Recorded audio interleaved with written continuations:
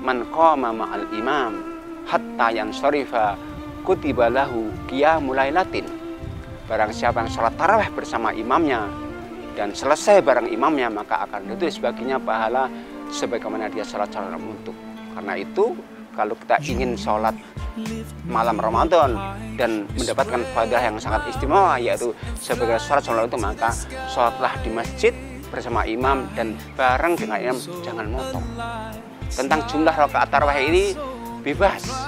Bisa 11 sebagaimana yang dibiasa dalam Rasulullah bisa 13 bisa 21 bahkan bisa lebih dari itu